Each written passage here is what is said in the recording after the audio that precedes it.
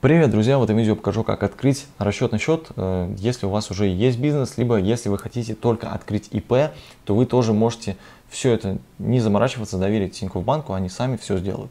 Это реально у них работает классно. Давайте покажу, как все делается. Смотрите, для того, чтобы открыть расчетный счет, вам нужно быть клиентом Тинькофф банка. Если вы еще не являетесь клиентом Тинькофф банка, по ссылке в описании можете им стать. Вы можете заказать себе просто карту Тинькофф банка и стать их клиентом, либо сразу же заказать расчетный счет, тоже есть ссылка в описании, там это тоже все сделать просто. Если вы уже являетесь клиентом Тинькофф банка, вы можете зайти в мобильное приложение, а, листнуть здесь вот в самый низ, находимся на главной странице, листаем в самый низ, открыть новый счет или продукт. Далее еще ниже листаем, нажимаем для бизнеса. Вот здесь есть два пункта. Открытие счета для бизнеса.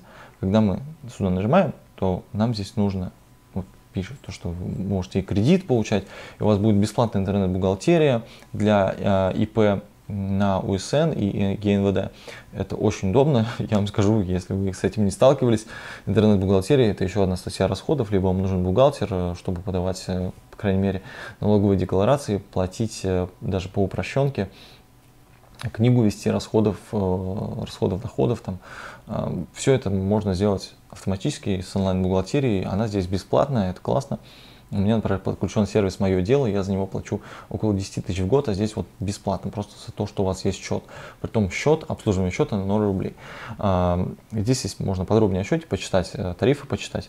Нажимаем «Продолжить», вводим ИНН нашей компании, название компании, ну и так далее. Здесь по шагам нас прямо ведет, все это сделать очень легко.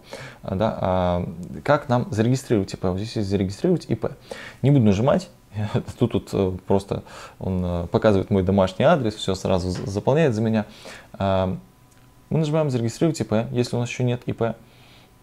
Ну, давайте я просто нажму, вот покажу, что, э, что в это входит. Сам Тиньков подает за вас документы в налоговую, запрашивает, делает запрос на регистрацию ИП, все за вас заполняет, открывает вам расчетный счет, вы получаете ответ из налоговой. То есть он автоматически сделает вас индивидуальным предпринимателем и сделает вам э, счет в банке. Все, что вам, в принципе, нужно знать. И это все бесплатно. Вы, ну, вы будете в будущем платить там комиссии, какие-то смс-оповещения. Опять же, читайте, обязательно читайте тарифы, которые есть в Тинькофф банке. Они постоянно меняются, поэтому я сейчас вам скажу просто, какие там условия они изменятся, потом будет информация не актуальна. Сейчас у них, например, действует акция, что 0 рублей за обслуживание расчетного счета. Это классно, классно. Так что можете воспользоваться данной услугой, опять же, вот таким образом. Спасибо за просмотр. Если видео было полезным, поставьте ему лайк, подпишитесь на канал и всего вам хорошего. Пока.